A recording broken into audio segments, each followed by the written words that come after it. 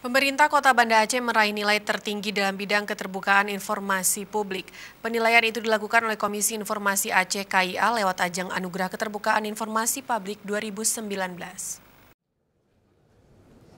PLT Gubernur Aceh Nova Iriansah menyerahkan plakat dan piagam penghargaan kepada Wali Kota Banda Aceh Aminullah Usman pada acara penganugerahan di Aula Serbaguna Seda Aceh Kota Banda Aceh merupakan satu-satunya yang mencapai kualifikasi informatif dengan rentang nilai 97 sampai dengan 100, unggul dari 22 kabupaten kota lainnya di Aceh, serta 137 badan publik yang dievaluasi oleh KIA.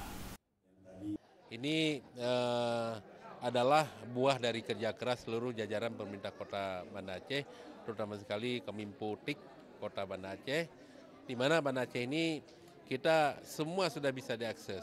Misalnya adalah soal uh, anggaran, itu sudah bisa dilihat oleh siapa saja. Kemudian soal pencairan proyek, soal tender proyek misalnya. Kemudian juga uh, keluhan, kita punya call center, misalnya PDAM, uh, sampah, ke rumah sakit, uh, pemadam kebakaran, ya, dan uh, juga dalam hal kita memberi aksesnya juga kita mengadakan uh, wali kota menjawab setiap bulan. Jadi itu juga keterbukaan.